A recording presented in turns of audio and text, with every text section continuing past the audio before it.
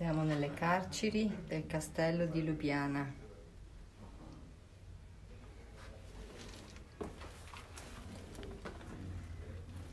La vista della città. Qui le grate che uno doveva rompere per poter scappare delle porte.